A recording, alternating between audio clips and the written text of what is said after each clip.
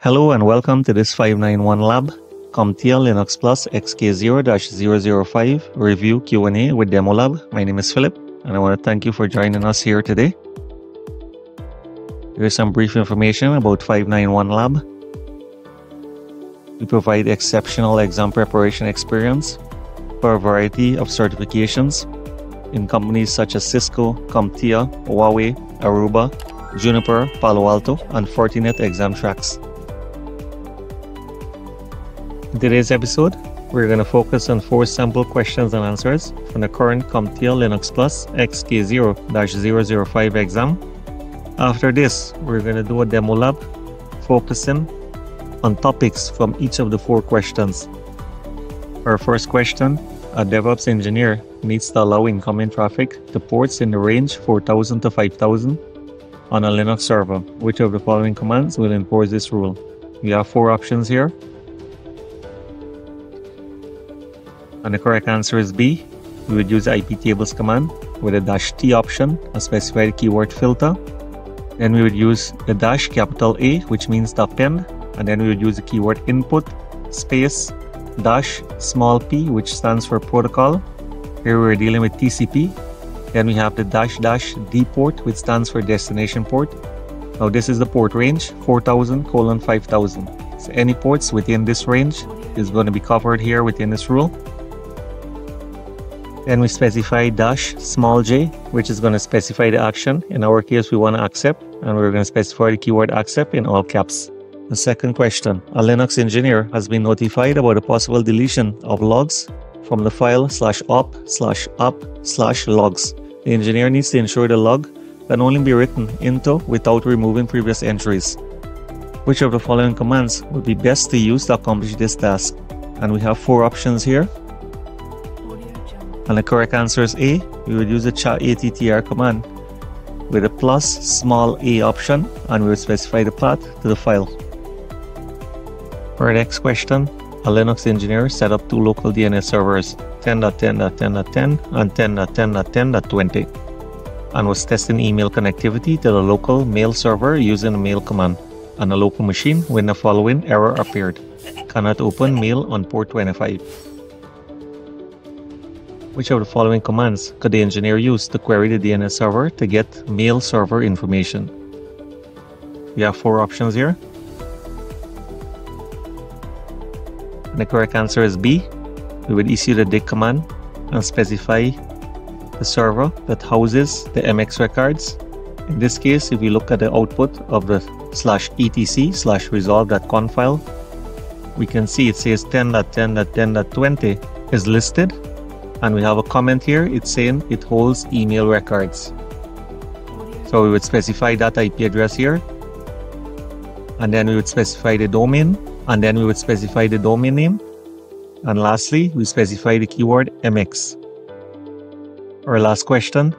In order to copy data from another VLAN, a systems administrator wanted to temporarily assign an IP address 10.0.6.5 with a slash 24-bit mask to the newly added network interface ENP1 S0F1. Which of the following commands should the administrator run to achieve the goal? We have four options here.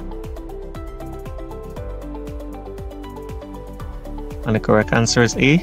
We would use the IPADDR command with the add keyword and we would specify the IP address along with the subnet mask and then we would specify the keyword dev to specify the device type and then we would specify the interface name here. I'm going to bring up our lab now so we can take a look at these various commands that we covered in these various questions. I have brought up a CentOS distribution for this demo. First, let's take a look at the existing IP table rules. We'll use a hyphen capital L and we will get an error this is because the user Philip has limited administrative rights on the system. Now let's try to run that command once again.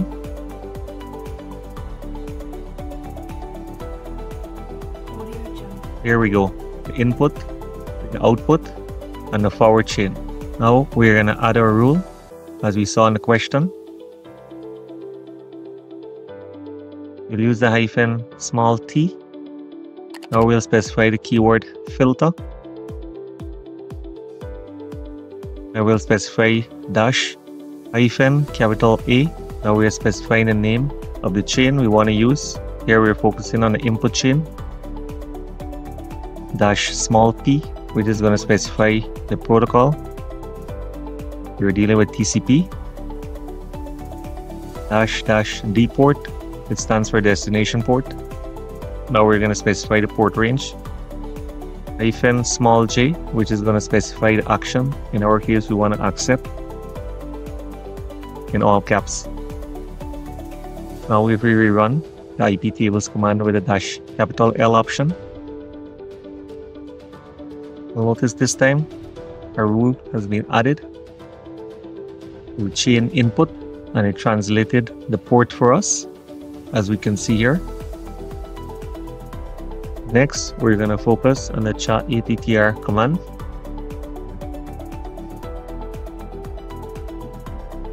We'll use the lsattr command to list the current attribute for that file.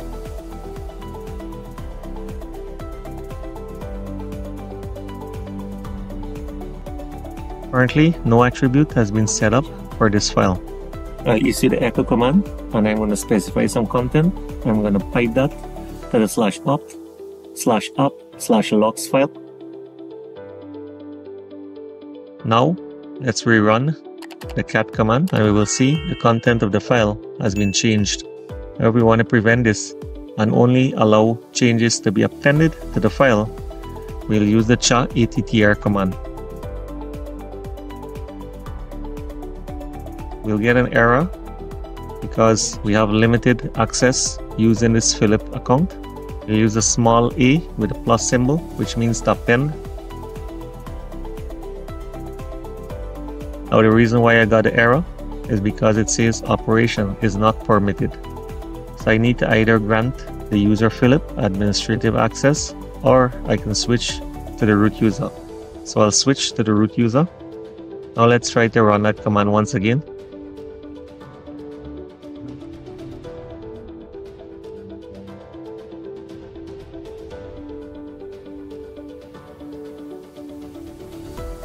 This time you'll notice we have a small e when we list the attribute for that file. I'll switch back to the Philip user. Now let's try to run that echo command once again. And this time we're gonna get an error telling us operation not permitted.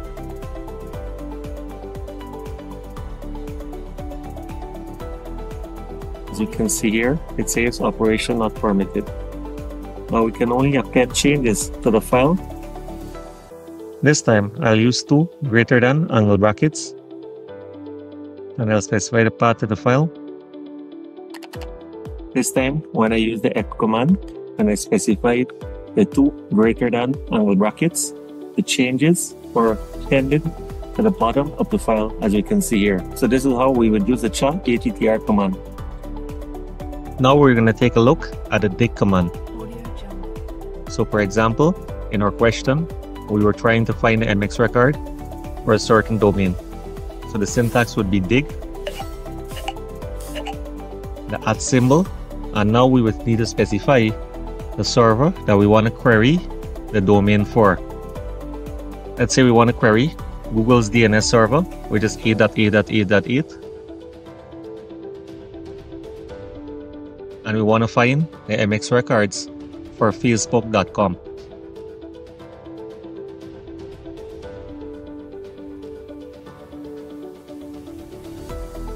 Here we're specifying MX. This is a particular record that we're interested in. And we can see the results that was returned. Here it says for facebook.com with a dot. That means everything with facebook.com in it. The type is MX. And here we could see the actual record. Now let's say we want to look at the name server records for facebook.com. We would remove the keyword MX and we would specify NS. And here you see the result for the name servers for facebook.com. It's telling us that Facebook has a number of different name servers that is handling the load when someone tries to do a resolution for the Facebook domain. We can also take a look at pointer records, specifying PTR. You have the start of authority, and we have the various name servers here for the pointer records. This is how we would use the dig command. Next, let's take a look at how we would assign an IP address with the IPADDR command. If I simply specify IPADDR, it's going to print the current network settings for the system. In our case, the physical interface's name is ENS160 and it currently has an IP address assigned to it. Now let's say we want to add a secondary address to this interface. The syntax would be IPADDR and we would use the keyword add. And now we would specify the IPv4 address.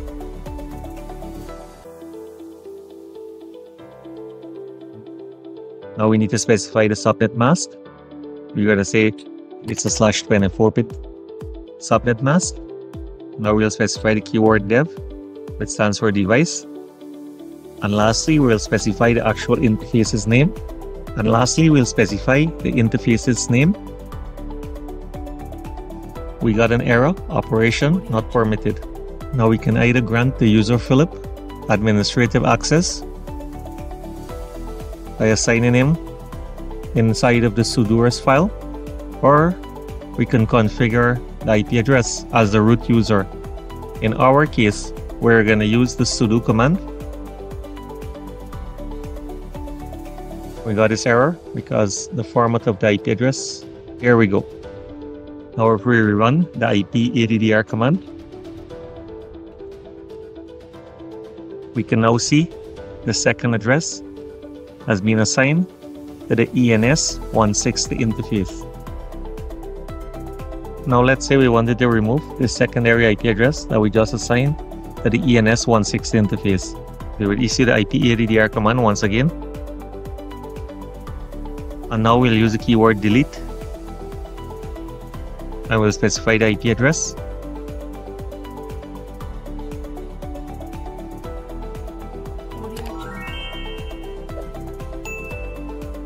Keyword dev and lastly, we need to specify the interface.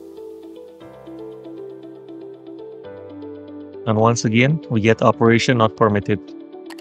So we'll prepend this command with sudo in front of it. And this time the command was successful. Now if we rerun the IPADDR command, we'll notice the secondary IP address has been removed from the ENS160 interface. So this is how we can leverage the IPADDR command to either add or remove an IP address from within the Linux system. Alright, let's go back to the slides. I want to thank you all for attending today's class at 591 Lab. We hope you found the material informative and helpful. Please don't hesitate to contact us we appreciate your participation and look forward to seeing you in our future classes. My name is Philip, and I want to thank you for choosing 591 Lab.